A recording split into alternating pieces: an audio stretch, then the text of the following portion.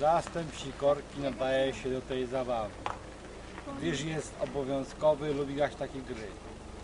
Wiele razy go obserwowałem jak się bawiły i bardzo im to dobrze wychodziło. Jeśli zastęp sikorka uzbiera odpowiednią ilość robaków na zimę, e, słoniny, tudzież e, innych pożytecznych, wartościowych witaminek, które są sikorką niezbędne do przetrwania w warunkach zimowych, zgoda zostanie podtrzymana. Uważam, że zastęp sikorek nadaje się do udziału w grze, ponieważ jest sprytny i gotowy do działania.